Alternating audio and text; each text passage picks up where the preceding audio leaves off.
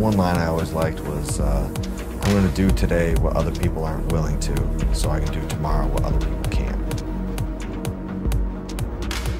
I always loved that line of like, like whenever I'm training by myself, you know, kind of always like running, running lines like that through my head when I'm suffering. Like people aren't willing to do this right now. You're the only one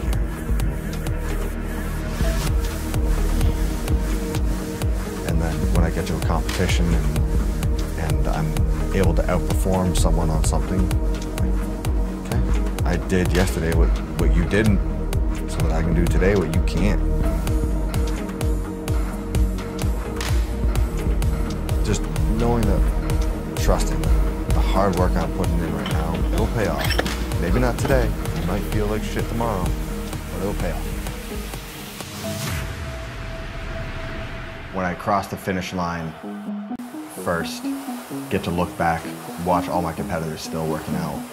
Just like the feeling of that crowd. Like you don't get that feeling from the crowd unless you feel that pain in training. Having a good day or bad day of training is almost like a vicious circle. Say I have a bad day of training Monday morning. I'm gonna go back in Monday night and try to make up for that bad morning.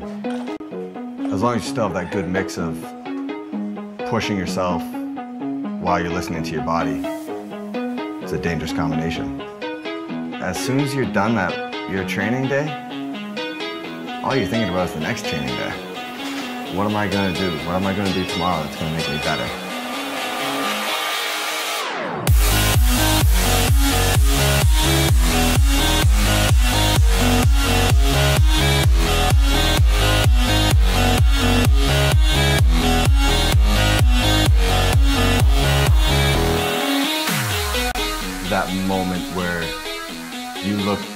The stadium and like there's 3,000 people just roaring makes every second of that pain worthwhile.